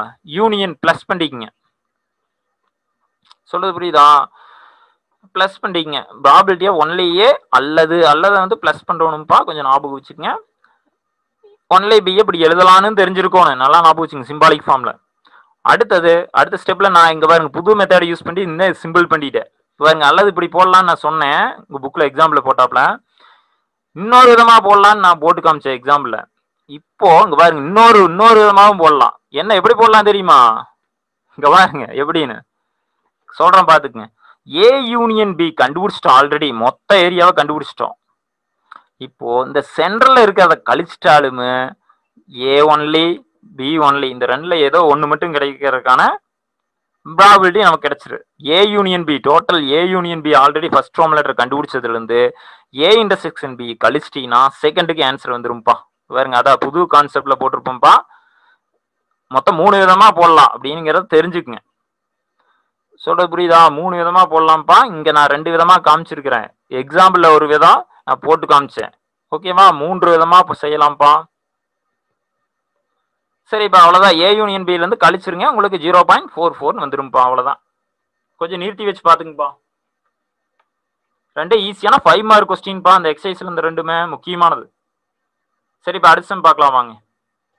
சரி இப்போ அந்த மூணு ஃபார்முலா ஒன்று பார்த்தோம்ல அது எப்படி ஞாபகம் வச்சுக்கிறதுன்னு சொல்கிறோம் பார்த்துக்கோ அந்த மூணு ஃபார்முலா எப்படி வருது எப்படி சொல்கிறோம் அப்படிங்கிறத பாருங்கள் இப்படி ஏ இது பி செட்டு இது எஸ் யூனிவர்சல் செட்டுன்னு சொல்லுவோம்ல அது மாதிரி இது எஸ்ன்னா சாம்பிள் ஸ்பேஸை குறிக்குது. இங்கே ஏ ஈவெண்ட்டுன்னு சொல்லுவோம் இது பி ஈவெண்ட்டுன்னு சொல்லுவோம் ப்ராபபிலிட்டியில் செட்டுக்கு இதுக்கு அந்த ஈவெண்ட்டுங்கிற பேர் மாறும் கொஞ்சம் பார்த்துக்கோங்க. சரிப்பா. இப்போ இது ஏ இன்டர்செக்ஷன் பின்னு சொல்லுவோம் காமனான ஏரியா இதை என்னன்னு சொல்லுவோம் ஒன்லி ஏ இந்த இந்த ஏரியா வந்து ஒன்லி ஏ இது இந்த இந்த ஏரியா இதை மட்டும் என்னன்னு சொல்லுவோம் இந்த காலி இடம் மட்டும் இந்த ஏரியா மட்டும். ஒன்லி பின்னு சொல்லுவோம். இப்போ இந்த ஒன்லி ஏ வேணும் அப்படின்னா இந்த ஏரியா மட்டும் வேணும் அப்படின்னா என்ன பண்ணலாம் இது மட்டும் வேணும் அப்படின்னா ஏ யூனியன் பி நல்லா பார்த்துங்க. ஏ யூனியன் பினா அது எல்லா இடமும் குறிக்கி. இது மட்டும் வேணும்னா அழகா யோசிச்சுப்பாரு ஏ யூனியன் பில இருந்து இந்த பி மட்டும் கழிச்சுட்டா உனக்கு இது மட்டும் கிடைச்சிரும்ப்பா அந்த ஏரியா மட்டும். சொல்ல புரியுதா? அப்படின்னா ஒன்லி ஏவை சிம்பாலிக் ஃபார்ம்ல எப்படி எழுதலாம்னா ஏ இன்டர்செக்ஷன் பி பார் பிஐ தவிர ஏ மட்டும்னு அர்த்தம் இதுக்கு பிஐ தவிர ஏ மட்டும். பிஐ தவிரனா இது எல்லா இடம் வந்துரு. அதுல ஏவுக்கு காமனான இடம்னா ஏ மட்டும் வந்துரு. சொல்ல புரியுதா? தட் ஈக்குவல் டு இதை A probability of A union B மொத்த ஏரியா அது எல்லாத்தையும் ஷேர் பண்ணாப்புல இமேஜினேஷன் பண்ணிக்கணும். அதுல இருந்து மைனஸ் ப்ராபபிலிட்டி ஆஃப் பி பினா இந்த பி ரவுண்டை லெஸ் பண்ணிட்டா இந்த இடம் வந்துருமா? ஓகேவா அப்படி யோசிக்கணும். அல்லது இன்னொரு விதமா எப்படி எழுதலாம் அப்படின்னா நல்லா பாத்துங்க இந்த ஏ மட்டும் ஏ யூனியன் பி கொடுக்கல. ஏ கொடுத்துருக்குறாங்க. பி ஆஃப் ஏல இருந்து இந்த ஏ இன்டர்செக்ஷன் பி இந்த காலி இந்த இந்த இடத்த ரிமூவ் பண்ணிட்டா கட் பண்ணி ஆப்ரேஷன் பண்ணி வெட்டி எடுத்துட்டா இந்த ஏ மட்டும் இந்த சேட் பண்ண ஏரியா மட்டும் கிடைச்சிருமா? அதாவது P of A minus P of B of A minus P of A intersection B அப்படின்னு சொல்லலாம். சொல்லு புரியுதா first formula full A union B கொடுத்துருந்தாங்க அப்படின்னா ஏ யூனியன் பியிலிருந்து இந்த B P of probability of B ஈவெண்ட்டை லெஸ் பண்ணிட்டா நமக்கு இந்த சேட் பண்ண ஏரியா கிடைச்சிரு. அது ஒன்று அடுத்தது பி ஆஃப் ஏலிருந்து பி ஆஃப் ஏனா இந்த ரவுண்டு மட்டும். அதுலேருந்து இன்டர்செக்ஷன் பி கொடுத்துருந்தாங்க அப்படின்னா இதை வெட்டி எடுத்துட்டீங்கன்னா தோ ஒரு முழு தோசையில் இந்த இன்டர்செக்ஷன் பி காமனாக இருக்கிற இடத்த வெட்டி எடுத்துட்டீங்கன்னா நமக்கு ஏ மட்டும் கிடைச்சிரும். அதான் இது ஒரு ஃபார்முலாப்பா ஓகேவா இது தெரிஞ்சிருக்கும் இது மாற டப்பு டப்புன்னு நீ ஈஸியாக யூஸ் பண்ணிக்கலாம். இது வந்து ஒன்லி ஏவுக்கு ஒன்லி பினா இதே மாற எப்படி எழுதலாம்? ஒன்லி பினா ஏ பார் ஏவை தவிர பிக்கு போ பியில் இருக்கிற ஏரியா மட்டும். அப்படின்னா இதுக்கு என்ன அர்த்தம்? ஒன்லி பின்னு அர்த்தம். இதை என்னென்னு எழுதலாம்? இப்போ இந்த பக்கம் ஷேர் பண்ணதை நீ இமேஜினேஷன் பண்ணிக்கணும் வேணா வேற கலரில் எழுதி காமிக்கிறேன். இது. என்னங்க சார் கண் படமாட்ட போடுறீங்க அப்படின்னு யோசிக்கிறியா? பயாலஜி ஸ்டூடெண்ட் கண் படத்துக்கு போயிருப்பாங்க இது பார்த்தா. டென்ஷன் பார்த்தா இது கண்ணு கருவிலியாட்டா இது பின்னாடி இருக்கக்கூடிய ஏரியாவாட்டா? சரி ஓகே இப்போ பி மட்டும் அப்படின்னா இது மட்டும்னா என்ன பண்ணலாம்? ஏ யூனியன் பி மொத்த ஏரியாவில் வந்து ஏவை கழிச்சிடலாம்ப்பா. சொல்லாமா அப்படி எழுதலாம். அல்லது இன்னொரு விதமா பி ஆஃப் பியில இருந்து minus P of A intersection பியை லெஸ் பண்ணிடலாம்னு சொல்லலாம். ரெண்டு விதமாக சொல்லலாம். ஓகேவா இது வந்து தனித்தனியாக ஏ மட்டும் பி மட்டுங்கிறத எப்படி எழுதணும் இது டென்த்துலேருந்து வருதுப்பா. தெரியலைன்னா அப்படி தெரிஞ்சுக்கணும் இப்போ சரி இப்போ அடுத்தது இங்கே இப்போ இந்த சம்மில் நம்ம இந்த ரெண்டு சம்லையுமே only one of two jobs அதாவது probability of A intersection B bar plus probability of A bar intersection B இது மாதிரி இருக்கிறது எதுக்கு சமமாக எழுதலாம்னா ஆக மொத்தத்தில் அதாவது இங்கே நான் சேட் பண்ணி இருக்கேன்ல இந்த ஏரியா மட்டும் வேணும். இது அல்லது அது. இந்த ரெண்டுல ஏதோ ஒன்று ஓகேவா இது மட்டும் இது மட்டும் அப்படின்னா அந்த சென்ட்ரு ஏரியா மட்டும் வரக்கூடாதா? இதை எப்படி கண்டுபிடிக்கலாம்? இதை மட்டும் ரிமூவ் பண்ணிட்டு இந்த காலி இடம் மட்டும். ஏ யூனியன் பி மொத்தத்துல இருந்து இந்த ஏ இன்டர்செக்ஷன் பி எடுத்துடலாம். வெட்டி எடுத்துடலாம் அந்த காலி இடத்த. நீ இந்த ரெண்டு இடம் வந்துருமா? சொல்லுது புரியுதா? செகண்ட் ரோம் லெட்டர் கொஸ்டினுக்கு இதைத்தான் நம்ம யூஸ் பண்றோம்ப்பா. அதை probability of A union B minus probability of A intersection பியை கழிச்சிட்டினாவே வந்துடும் அப்படின்னு தெரிஞ்சதுன்னா அந்த செகண்ட் ரோம்லெட் இருந்ததுல எக்ஸாம்பிள் டுவெல் பாயிண்ட் ஃபிஃப்டீன் இந்த டுவெல் பாயிண்ட் ஃபிஃப்டீன் போட்டோம்ல இதுக்கு. ஓகேவா இது மாதிரி இருக்கிறத நீ மொத்த ஏ யூனியன் ஃபர்ஸ்ட் கண்டுபிடிச்சில ஜீரோ பாயிண்ட் முப்பது. இதுலேருந்து ஐ யூனியன் சியிலிருந்து இந்த I intersection C zero point seven போயிருச்சுன்னா தானே இருக்கு? முப்பதுல ஏழு போனா எவ்வளோ இருபத்தி மூணா அங்கே வேறு வந்துருச்சு பாரு. டேரக்டா இது மாதிரி சிரமப்பட தேவையில்லை. அப்படி யோசிச்சிங்கன்னா கூட வெண்டையம் வச்சு ஈஸியா நீ இந்த ரெண்டு லைன் போடாமையே நீ டப்புன்னு ஜீரோ பாயிண்ட் டூ த்ரீன்னு எழுத முடியும். சொல்ல புரியுதா? அதுக்கு யூஸ் ஆகுது இப்படி வெவ்வேறு விதமா யோசிக்கலாம். சரி இப்போ நம்ம இப்போ எக்ஸைஸ் சம் பார்க்க போகலாம் எக்ஸைஸில் ஃபைவ் சம்ஸ் பார்க்கலாம் ரிமைனிங் இருக்கிற அந்த ஃபைவ் சமையுமே எக்ஸைஸ் டுவெல் பாயிண்ட் டூவில் ஃபர்ஸ்ட் சம் பாருங்க ரொம்ப ஈஸியான செம்மு அவனையும் மியூச்சுவலி எக்ஸ்க்ளூசிவ்ன்ட்டா மியூச்சுவலி எக்ஸ்க்ளூசிவ்னா ஏ இன்டர்செக்ஷன் பி வந்து நல் செட்டுன்னு உனக்கு டப்புன்னு ஞாபகம் வரும்னு probability of A intersection B அப்படின்னா என்ன வந்துரு? ஜீரோ பை என் ஆஃப் எஸ்ன்னு போடுவீங்க ஜீரோ ஆயிரும். P of A P of B இப்போ பி ஆஃப் ஏ பார் வேணும்னா என்ன பண்ணுறோன்னு டப்புன்னு யோசிங்க பார்க்கலாம் one minus P of A கரெக்டாக சொன்னீங்கப்பா. இவ்வளோதான் one minus P of A பார்த்தோன்னே சொல்லிடலாம். எட்டில் மூணு வாய்ப்பு. பி ஆஃப் ஏவுக்கு இருக்குதுன்னு சொல்லிட்டாங்க. பி ஆஃப் ஏ பாருக்கு எத்தனை இருக்கு? ரிமைனிங் எத்தனை வாய்ப்பு இருக்குது? எட்டுல அஞ்சு வாய்ப்பு இருக்குது. அப்படின்னா ஃபைவ் பை எயிட்னு பார்க்காமயே போடணும்ப்பா. அதில் ஒன் மார்க் கொஸ்டின் சொல்றது புரியுதா? டப்புன்னு ஓட்டலாம். அடுத்து P of A union B கேட்டிருக்கிறாங்க. அப்படின்னா என்ன பண்ணணும் இது ரெண்டே கூட்டினா போகுது இன்டர்செக்ஷன் பி தான் ஜீரோ ஆயிடுச்சுல. அப்படின்னா இங்க பாரு டினாமினேட்டர் ரெண்டுலேயும் சேமா இருக்குது. பவரை மட்டும் கூட்டிடு மூணு பிளஸ் ஒன்று நாலு பை எட்டுன்னு வரும்ப்பா. அடிச்சீங்கன்னா ஒன்று பை ரெண்டு. சொல்லுது புரியுதா? இது மாதிரி டப் டப்புன்னு போடலாம்ப்பா. சரி நான் நோட்டில் போட்டிருக்கிறேன். பாருங்க அடுத்த ரெண்டு கொஸ்டினையும் கிவன் ரெண்டே எடுத்து எழுதிட்டோம்ப்பா ஹியர் ரெண்டு மியூச்சுவலி ஒன்றை ஒன்று விளக்கும் நிகழ்ச்சிகள்ன்ட்டாங்க. சம்மந்தம் இல்லைன்ட்டாங்க. அப்படின்னா நல் செட் வருமா? அப்படின்னா number of A intersection B எத்தனை பேர் இருப்பாங்க? Zero probability கண்டுபிடிச்சின்னா zero by N of S equal to zero சொல்கிறது புரியுதா? ஜீரோ ஆயிரும் உனக்கு மொத்தமாகவே இந்த மொத்தத்தில் ஜீரோன்னு போட்டுக்கோ டைரெக்டாக சரி அது பி ஆஃப் ஏ பார் வேணும்னா ஒன் மைனஸ் பி ஆஃப் ஏன்னு போடுவோம். இது மாதிரி கழிச்சும் கூட போடலாம்ப்பா ஃபார்முலாவை போட்டு இல்லை டேரெக்டாக நான் சொன்னாப்புல எட்டில் மூணு வாய்ப்பு ஏவுக்கு இருந்ததுன்னா ஏ பாருக்கு எவ்வளவு இருக்கு? எட்டில் அஞ்சு வாய்ப்பு இருக்கு அப்படின்னு போட்டீங்கன்னா வேலை முடிஞ்சுது. டேரெக்டாகவே நீ ஆன்சர் எழுதிடலாம்ப்பா. இப்படி போடணுங்கிற அவசியம் இல்லை. ஃபார்முலா படி இப்படி போடலாம். தியரம் பார்த்தோம்ல அதன்படி இப்படி எழுதி போடலாம். A union B additive theorem போட்டீங்கப்பா using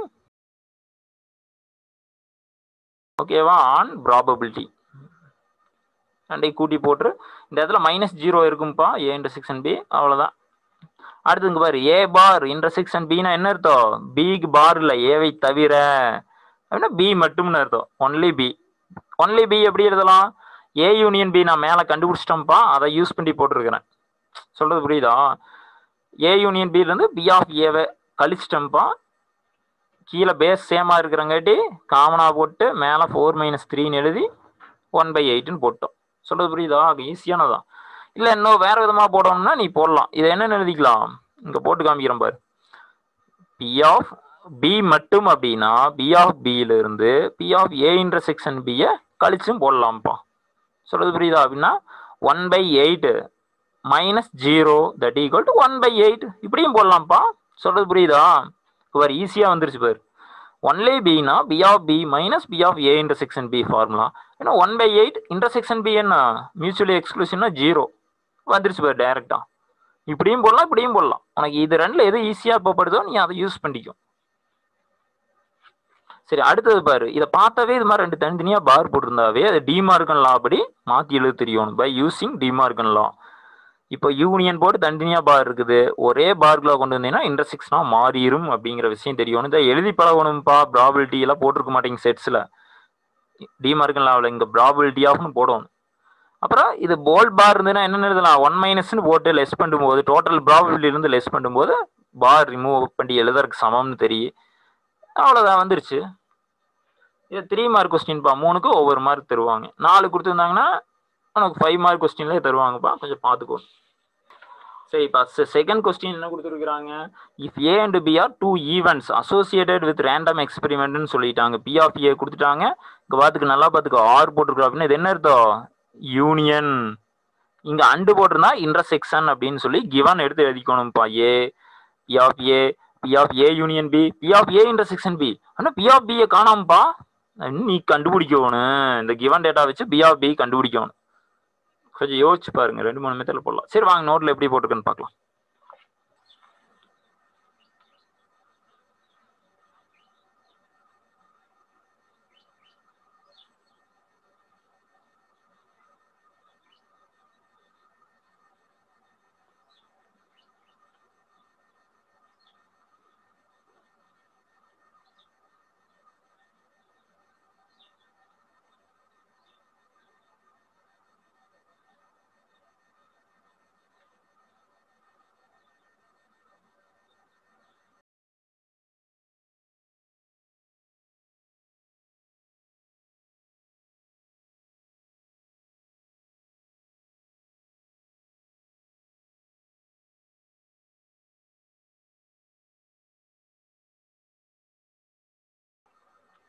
B of B முதல்ல கண்டுபிடிச்சிக்கிறோங்க. ஜீரோ பாயிண்ட் சிக்ஸ் ஃபைவ் அப்படின்னு நமக்கு கிடைச்சிருக்குது. ஓகேவா அடிஷன் தியரத்தை பயன்படுத்தி கொஸ்டின்ல பி ஆஃப் பி கொடுக்கல. அதை ஃபர்ஸ்ட் நம்ம கண்டுபிடிச்சிட்டோம் அப்படிங்கிறத ஞாபகத்தில் வச்சுக்கோங்க. ஓகேங்களா ஃபர்ஸ்ட் அதை கண்டுபிடிச்சிக்கோங்க. அதை கண்டுபிடிச்சிட்டு அப்புறம் நம்ம இப்போ ஆன்சர் பண்ண போகலாம் ஓகேங்களா எதுக்காக கண்டுபிடிச்சோம் அப்படின்னா அங்கே வருங்க செகண்ட் கொஸ்டின்ல பி ஆஃப் பி பார்னு கேட்டிருக்கிறாங்க. ஓகேங்களா அதுக்கு யூஸ் ஆகும் இதுக்கு ஒன் மைனஸ் பி ஆஃப் பின்னு போடணும்ல அதுக்கு யூஸ் ஆகுங்க. அதுக்கோசரம் கண்டுபிடிச்சிட்டோம். முதல்லயே கண்டுபிடிச்சிட்டோம். ஓகேங்களா? சரி இப்போ ஃபர்ஸ்ட் கொஸ்டின் ஆன்சர் பண்ண போலாங்க. ஃபர்ஸ்ட் கொஸ்டின் என்ன கேட்டிருக்கிறாங்க? ப்ராபபிலிட்டி ஆஃப் ஒன்லி பி அப்படின்னா ஃபர்ஸ்ட் கொஸ்டின் ஒன்லி பி சரி இது போடுறதுக்கு நீங்க படம் போட்டு கொஞ்சம் யோசிச்சு பாருங்க. ஒரு சின்னதா படம் போட்டுக்குங்க போதும். சின்ன சைஸ்ல ஒரு பென் டயக்ராம் போட்டு ஏ இது பி இது சாம்பிள் ஸ்பேஸ் எஸ் இப்போ ஒன்லி பினா எது வருங்க? இந்த ஏரியா ஓகேங்களா? ஒன்லினா இந்த ஏரியா சரி இப்போ நாம் ரெண்டு விதமான ஃபார்முலா சொன்னால் ஒன்று ஏ யூனியன் பியிலிருந்து ஏவை கழிச்சிட்டா நமக்கு பி ஒன்லி கிடச்சிரு ஓகேங்களா? அல்லது பி ஆஃப் பி கொடுத்துருந்தாங்க அப்படின்னா அந்த மொத்தம் இது கொடுத்துருந்தாங்கன்னா அந்த ஏ இன்டர்செக்ஷன் பியை லெஸ் பண்ணிட்டோம்னாலும் நமக்கு கிடைக்கும். ரெண்டு ஃபார்முலா நம்ம சொல்லியிருக்கிறோம் ரெண்டு விதமாக எழுதலான்னு. நீங்கள் இங்கே பார்த்தீங்கன்னா ஏ யூனியன் பியும் இருக்குது. பி ஆஃப் பி கொடுக்கல. அதனால நான் பி ஆஃப் பி கண்டுபிடிச்சிட்டு ஏ இன்டர்செக்ஷன் பி இந்த பி ஆஃப் பிலேருந்து ஏ இன்டர்செக்ஷன் பியை கழிச்சாலுமே அதே ஆன்சர் தான் வருங்க. ரெண்டுல நீ ஏதோ ஒன்றை போட்டு காமிச்சிங்கன்னா போதும். ஓகேங்களா அப்படின்னா இதை ஃபர்ஸ்ட் எப்படி எழுதலாம்னு பாருங்க. ஒன்லி பினா எப்படி இதை எக்ஸ்பேண்ட் பண்ணி எழுதலாம்? இன்னொரு சிம்பாலிக் ஃபார்ம்ல சொல்லுங்க பார்க்கலாம். சிம்பாலிக் ஃபார்ம் எப்படி எழுதலாம்? ஒன்லி பினா ஏவை தவிர பி மட்டும். நல்லா பார்த்துங்க. ஏ பார் இன்டர்செக்ஷன் பி இப்படி எழுதலாம். இதுக்கு தான் ரெண்டு ஃபார்முலா எப்படி வேணா எழுதலாம். நான் என்ன பண்றேன்னா ஏ யூனியன் பி கொஸ்டின்ல கொடுத்துருந்தாங்க. அதனால probability of A union B minus எதை கழிச்சுக்கலாங்க? பி ஆஃப் ஏவை கழிச்சிருங்க. இப்போ ஏ யூனியன் பி எவ்வளவு கொஸ்டின்ல zero point eight five minus P of A கொஸ்டின்ல கொடுத்துருந்தாங்க ஜீரோ பாயிண்ட் த்ரீ ஃபைவ் எண்பத்தஞ்சில் முப்பத்தஞ்சு போனால் எவ்வளவுங்க? ஐம்பது. ரெண்டு டெசிமல் பிளேஸ் தள்ளி புள்ளி வச்சுருங்க மறக்காம. ஓகேங்களா? சரிங்க. இது ஒரு மெத்தடுங்க இன்னொரு ஆல்டர்னேட்டிவ் மெத்தடில் போட்டிங்கன்னா எப்படி போடலாம் அப்படின்னு பார்த்தீங்கன்னா சொல்கிறது புரியுதுங்களா? இன்னொரு மெத்தடு இந்த இதை எப்படி எழுதலாங்கிறத நாங்கள் ஈக்குவல் போட்டு எழுதுறீங்க. என்ன பண்ணலாங்க? ஏ யூனியன் பியிலேருந்து ஏவை கழிக்கலாம்னு ஒன்று பார்த்தா அடுத்து பி ஆஃப் பி கண்டுபிடிச்சிட்டோம். இதிலிருந்து ஏ இன்டர்செக்ஷன் பியை கழிச்சிட்டாலே நமக்கு கிடைக்கும் அதாவது P of B minus P of A intersection B இந்த பி ஆஃப் பி வந்து இது அதுக்கு தான் கண்டுபிடிச்சிருக்கிறோம். இன்னொரு மெத்தடில் இப்படி போடணும்னா இது வேணும். ஓகேங்களா இப்படியும் போடலாம். நீங்கள் ஏதோ ஒன்றை போடுங்க போதும் எக்ஸாமில் அப்படின்னா ஜீரோ பாயிண்ட் சிக்ஸ் ஃபைவ் நம்ம கண்டுபிடிச்சிருக்கிறப்ப தான் minus A intersection B question எவ்வளோ கொடுத்துருக்கோம் zero point one five less பண்ணிங்கன்னா அறுபத்தஞ்சில் பாஞ்சு போனால் ஐம்பது. ஜீரோ பாயிண்ட் ஃபைவ் வந்து சேர்ந்துருங்க சொல்றது புரியுதுங்களா? இது மாதிரி ரெண்டு மெத்தேடில் போடலாங்க. சொல்ற இது மாதிரி படம் வரைஞ்சி யோசிச்சு பாருங்க. ஒன்றுக்கு ரெண்டு டைம் ஓகேங்களா? சரி செகண்ட் கொஸ்டின் என்ன கேட்டிருக்கிறாங்க? ப்ராபபிலிட்டி ஆஃப் பி பார் பிங்கிற ஈவன் நடக்காமல் இருப்பதற்கான ப்ராபபிலிட்டி அப்படின்னா நடக்கிறதுல இருந்து total probability one minus P of B இப்போ பி ஆஃப் பி கண்டுபிடிச்சிட்டோம் லெஸ் பண்ணிடுங்க that equal to one minus இதை தான் கண்டுபிடிச்சிருக்கிறோம். ஜீரோ பாயிண்ட் சிக்ஸ் ஃபைவ் இதை எப்படி கழிக்கணும்னு தெரியுங்களா? அந்த மாதிரி பாயிண்ட் நான் கழிச்சு காமிக்கிறேன் பாருங்க. ஒன் பாயிண்ட் ஜீரோ ஜீரோன்னு எடுத்துக்கிட்டு ஜீரோ பாயிண்ட் இந்த பாயிண்ட்ல ஒரே நேர் வராப்புல எழுதிக்கணுங்க. தெரியலன்னா தெரிஞ்சுக்குங்க. இப்போ இங்க ஒன் இருக்குது. நீங்க இப்படி கூட டைரக்டா கூட போடலாம். நூறுல அறுபத்தஞ்சு போனா எவ்வளவு? முப்பத்தஞ்சு. அப்படின்னா ரெண்டு டெசிமல் பிளேஸ் தள்ளி புள்ளி வச்சிடலாம். சிம்பிளா அப்படி யோசிக்கலாங்க.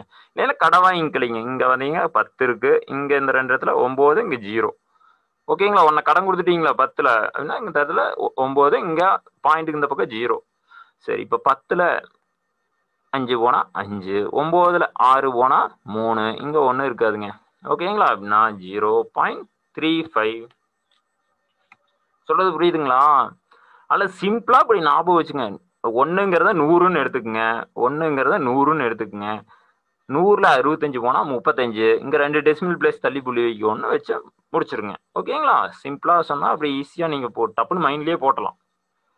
சொல்ல புரியுதுங்களா? இதானது சிக்ஸ்டி ஃபைவ் பை ஹண்ட்ரட் அப்படின்னு எடுத்துட்டு கூட நீங்க போடலாங்க. சொல்றது புரியுதுங்களா? அறுபத்தஞ்சு பை நூறு. நூத்துல அறுபத்தஞ்சு வாய்ப்பு இருந்ததுன்னா நூத்துல எவ்வளவு இருக்கு? இதை இப்போ இப்படி எழுதலாம்லங்க. முப்பத்தஞ்சு பை ஹண்ட்ரட்னு எழுதலாம்லங்க. சொல்றது புரியுதுங்களா? இப்படி எழுதுறதுக்கு சம்மந்தாங்க இல்லை படிச்சிருக்கிறீங்களா? லாயர் கிளாஸ்ல நூறால மல்டிப்ளை பண்ணி டிவைட் பண்ணா மதிப்பு மாறாது இல்லைங்க. இங்க நூறால மல்டிப்ளை டிவைட் பண்ணா இப்படி வந்துடும் சொல்றது புரியுதுங்களா? இப்படி எழுதலாம்னு தெரிஞ்சுக்கங்க. அதே மாதிரி ஜீரோ பாயிண்ட் அறுபத்தஞ்சு அறுபத்தஞ்சு பை ஹண்ட்ரட்னு எழுதலாம். அப்படின்னா நூத்துல அறுபத்தஞ்சு வாய்ப்பு பி ஆஃப் பிக்கு இருந்ததுன்னா பி ஆஃப் பி பார்க்கு எவ்வளவு இருக்கு? ரிமைனிங் எவ்வளவு வருங்க? நூறு மைனஸ் அறுபத்தஞ்சு முப்பத்தஞ்சு வாய்ப்புகள் இருக்கா? நூறுல முப்பத்தஞ்சு வாய்ப்புகள் இருக்கும் அப்படின்னு அர்த்தம். சரி தேர்டு கொஸ்டின் பாருங்க. இது ஃபர்ஸ்ட் கொஸ்டினோட வரும்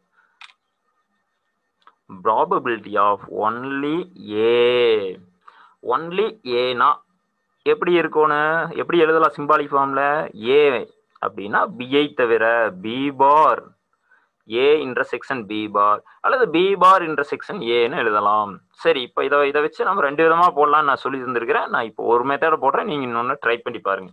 நான் ஃபஸ்ட்டு படம் போட்டு பார்க்குறேங்க. ஒன்லி ஏவுக்கு எப்படி இருக்குன்னு. சும்மா மைண்ட் மேப்பில் நான் போட வேண்டியதை நான் இங்கே வரைஞ்சு காமிக்கிறேன். நான் என்ற மன மைண்டில் நினச்சதை. இப்படி இருக்கும் அப்படிங்கிறத. ஒன்லி ஏனா எந்த ஏரியா வருங்க? கரெக்டாக சொன்னீங்க.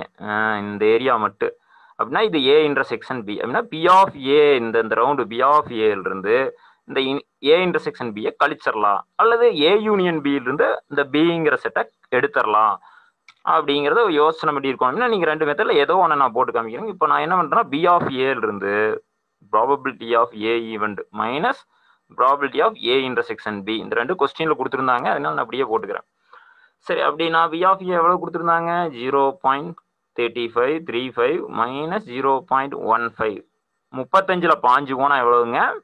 வெரி குட் இருபது. ரெண்டு டெசிமல் பிளேஸ் தள்ளி புள்ளி வச்சிங்கன்னா ஜீரோ பாயிண்ட் டுவெண்ட்டி அதாவது ஜீரோ பாயிண்ட் டூன்னு சொல்லுவோம். ஏன்னா பாயிண்ட்டுக்கு அப்புறம் ஜீரோ இருந்தால் அதுக்கு மதிப்பு கிடையாது அப்படின்னு உங்களுக்கு தெரியும் இல்லையும் தெரிஞ்சுக்குங்க. இதாங்க நமக்கு தேவையான சொல்யூஷன் சொல்கிறது புரியுதுங்களா? இதையே இன்னொரு மெத்தேட்ல பி ஆஃப் ஏ யூனியன் பியில் இருந்து சொல்றது புரியுதுங்களா? P of A union B minus P of B போட்டிங்கனாலும் வரும் நமக்கு தேவையான P only B probability of only பிங்கிறது probability of A union B கொடுத்துருக்குறாங்க. எவ்வளவுங்க? Zero point eight five minus probability of இது கண்டுபிடிச்சிருக்கிறப்ப தான் சிக்ஸ் ஃபைவ் கழிச்சிட்டிங்கனாலு ரிமைனிங் உங்களுக்கு ஜீரோ பாயிண்ட் டுவெண்ட்டி வந்துடும் அது ஜீரோ பாயிண்ட் டூன்னு தான் சொல்லுவோம். ஓகேவா பாயிண்ட்டுக்கு அப்புறம் ஜீரோ இருந்தால் மதிப்பு கிடையாதுங்க.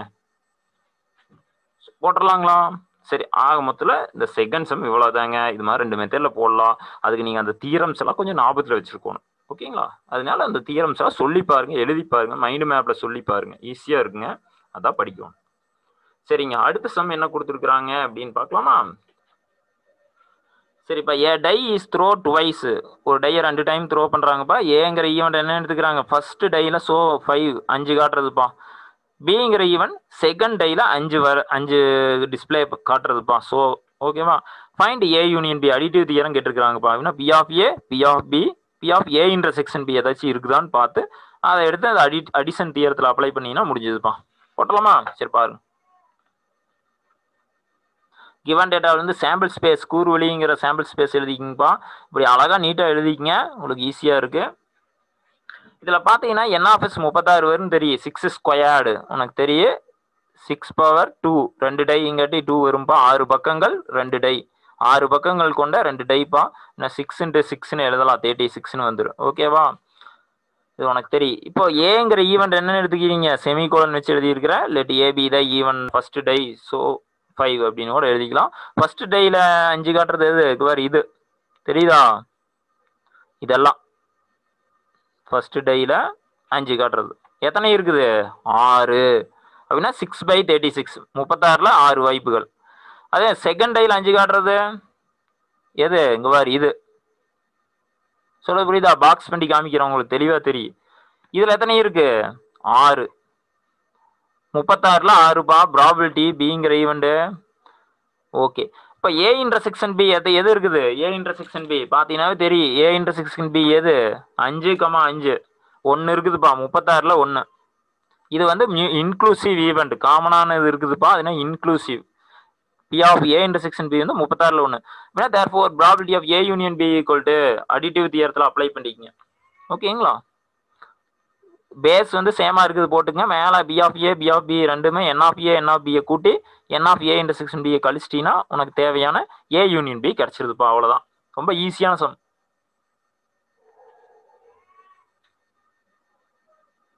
போட்டுடலாமா அனிஸ் பாத்திமா எஸ் சார் சரி Bhavani போட்டுடலாமா?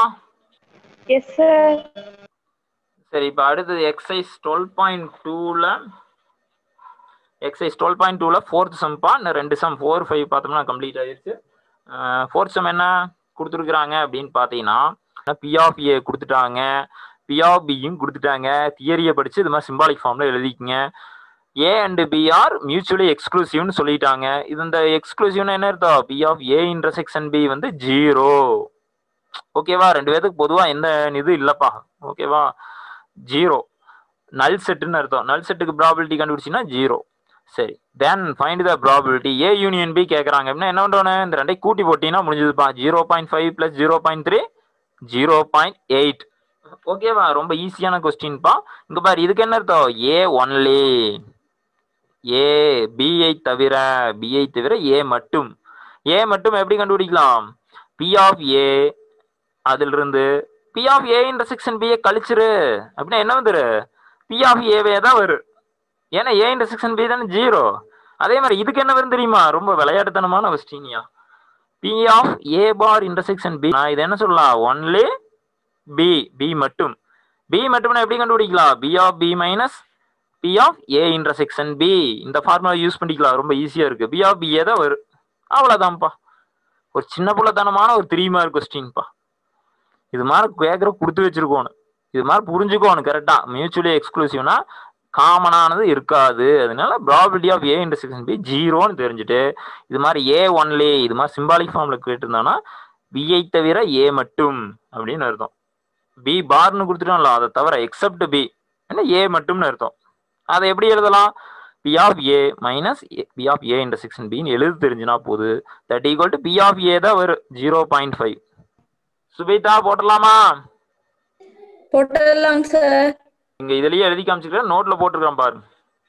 Fourth sum given data we get ரெண்டை எடுத்து எழுதிக்கிட்டேன் here A and B are mutually exclusive event ஒன்றை ஒன்று விளக்கும் இரு நிகழ்ச்சிகள்னு தெளிவாக கொஸ்டினில் கொடுத்துட்டாங்காட்டி A intersection B equal to null set ஒன்றும் இருக்காது. நல் செட்டுக்கு ப்ராபிலிட்டி கண்டுபிடிச்சிங்கன்னா ஜீரோ டு ஃபைண்ட் இதை கண்டுபிடிக்கணும். First A union B additive தியரத்தை எடுத்து எழுதிக்கிங்க. ஓகேவா? நிகழ்தகவுக்கான கூட்டல் தேற்றத்தை எடுத்து எழுதிக்கிங்க. கூட்டல் தேற்றம்னு சொல்லுவாங்க. அடிட்டிவ் தியரம் அடிசன் தியரம்னு கொடுத்துருக்காங்களா அது. எடுத்து எழுதி அப்ளை பண்ணுங்க. ஏ இன்டர்செக்ஷன் பி ஜீரோன்னு போட்டுங்க. அவ்வளோதான் கூட்டி போட்டால் முடிஞ்சதுப்பா. இதுக்கு இதுக்கு என்ன அர்த்தம்னு ஃபஸ்ட்டு புரிஞ்சுக்கோணும். சிம்பாலிக் ஃபார்மில் இருக்கிறதா? ஏ ஒன்லி ஏன்னு அர்த்தம். அப்படியே ஒன்லி ஏனா பி ஆஃப் ஏலேருந்து கழிச்சிட்டா ஈஸியாக இருக்குது இந்த ஃபார்முலா அல்லது இந்த மாற்று முறையில் இப்படியும் போடலாம்.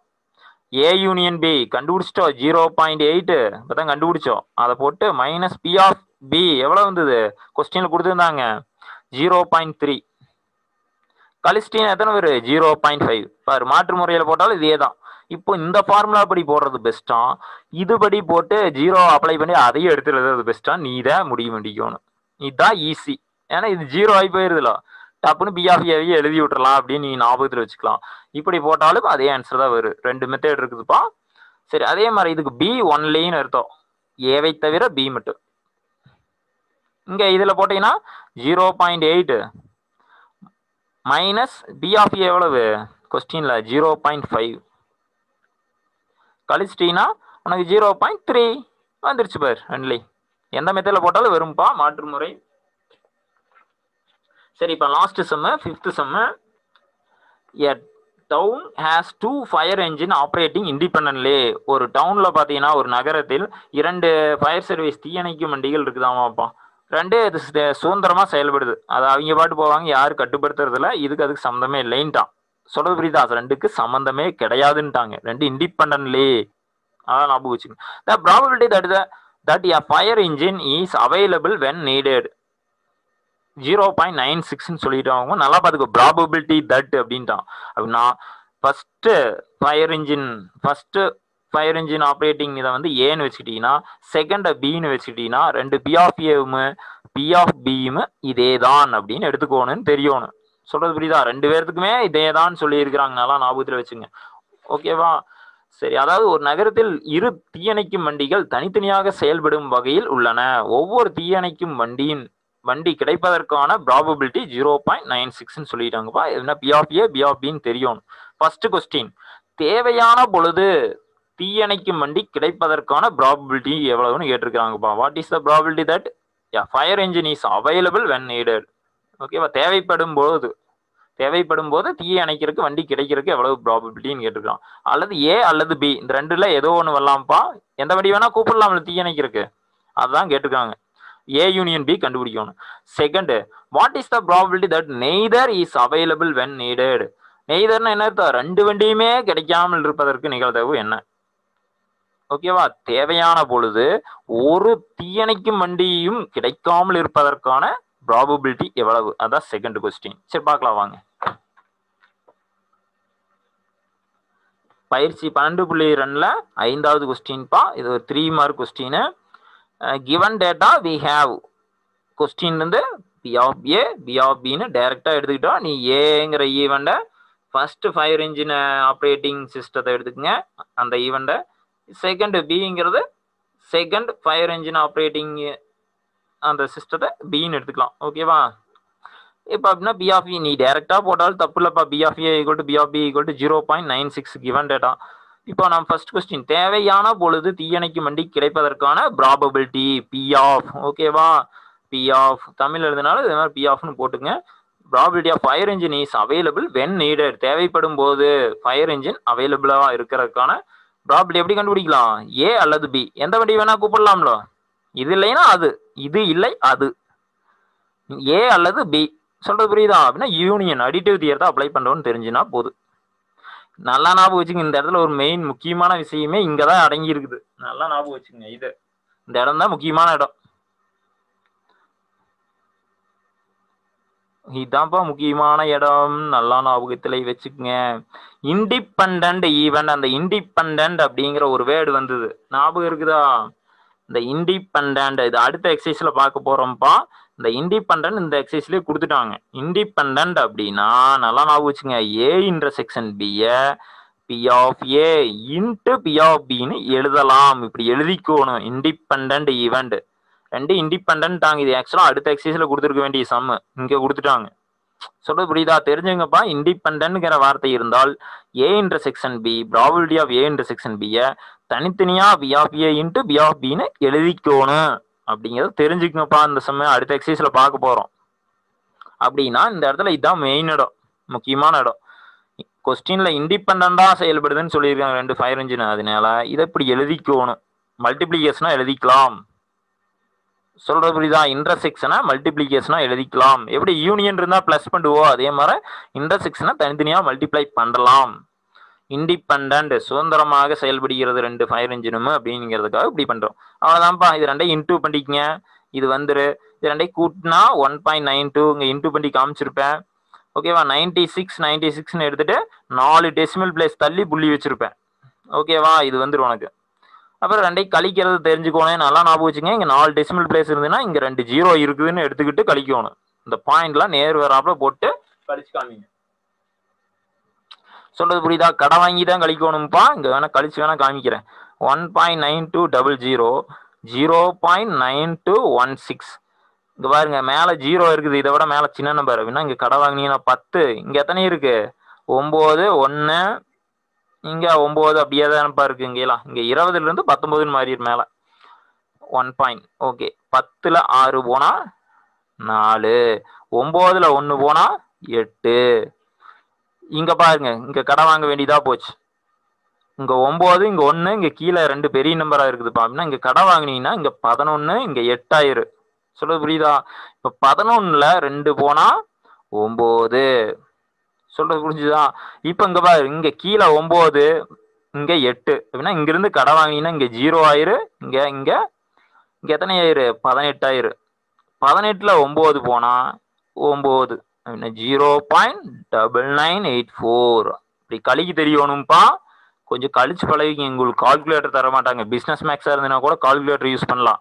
கூட்டல் கழித்தல் தெரியாட்டியும் கூட பிசினஸ் மேக்ஸ்ல சக்சஸ்ஃபுல்லா சென்டம் கூட போடலாம் ஆனா நீங்க ஜென்ரல் மேக்ஸ்ல கழித்தல் தெரியணும். கூட்டல் கூட்டல் கழித்தல் தெரியணும். சரிப்பா. செகண்ட் கொஸ்டின் என்ன கேட்டிருந்தா தேவையான பொழுது ஒரு வண்டி கூட கிடைக்காமல் இருப்பதற்கு. ரெண்டு வண்டியும் பிஸிப்பா ரெண்டு வண்டியுமே இல்லை. அதாவது ஏ பார் பி பார் ரெண்டுமே கிடையாது. ரெண்டுமே அவைலபிள் இல்லை. ரெண்டுமே பிஸியா இருக்குது. நிறைய இடத்துல ஃபயர் பிடிச்சிருச்சாட்டு இருக்குது. இருக்கிறது ரெண்டு வண்டி. ரெண்டு ரெண்டு பக்கம் போயிருச்சு. இன்னொருத்தன் கூப்பிட்டானா எங்க வருவான்? அதற்கான நிகழ்தகவு எவ்வளவு? அதற்கான ப்ராபபிலிட்டி எவ்வளவுன்னு கேட்குறாங்கப்பா அப்படின்னா அதை எப்படி எழுதலாம்? Probability of neither fire engine is available when needed ரெண்டு வண்டியுமே இல்லாம இருக்கு அதை எப்படி எழுதலாம்? Probability of A bar intersection B பார்னு எழுதலாம்னு இது மாதிரி சிம்பாலிக் ஃபார்ம்ல மாற்ற தெரியணும்ப்பா இதான் முக்கியம். அப்படின்னா இதை பாருங்க இதே இதை கண்டிப்பா இதை மாற்ற தெரியணும்ப்பா இப்படி எழுதணும். ரெண்டுமே கிடையாது ரெண்டுமே இல்லை. தேவையான பொழுது ஒரு தீயணைக்கும் வண்டியோட கிடைக்காமல் இருக்கிறது ஓகேவா அப்படின்னா இதை டிமார்க்கெல்லாம் அப்ளை பண்ணி இப்படி எழுதலாம்னு தெரியணும் இது மாதிரி ஓல்ட் பார் போட்டிருந்தா அதை ஒன் மைனஸ்னு போட்டு பாரை ரிமூவ் பண்ணி ரிமைனிங் இருக்கிறத எழுதலான்னு தெரியணும்ப்பா ஆல்ரெடி நம்ம P of A union B கண்டுபிடிச்சிட்டோம். அதை ஒன்லேருந்து லெஸ் பண்ணிடுறீங்க. ஒன்லேருந்து எப்படி கழிப்பீங்க? ஒன் பாயிண்ட் ஜீரோ ஜீரோ ஜீரோன்னு எடுத்துக்கிட்டு இங்கே நாலு டெசிமல் பிளேஸ் இருக்குதுல நாலு ஜீரோ போட்டுக்கோணும் அப்புறம் zero point nine nine eight four கடை வாங்கிட்டாம்பா கழிக்கணும் மேலே பத்து ஒம்பது ஒம்பது ஒம்பது. இங்கே இந்த இடம் ஜீரோ ஆயிரும். பத்தில் நாலு போனால் ஆறு ஒம்போதில் எட்டு போனா ஒன்று ஒம்போதில் ஒம்பது போனால் ஜீரோ ஒம்பது ஒம்பது போனால் ஜீரோ இதுதான். இப்படி கழிச்சு இங்கே எடுத்து எழுதுறீங்க. இதுதான் நமக்கு தேவையான தீர்வு. சொல்யூஷன்